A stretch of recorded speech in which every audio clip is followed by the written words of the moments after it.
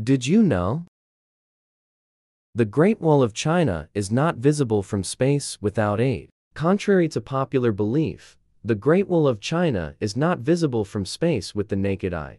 It requires aid like binoculars or photography to be seen.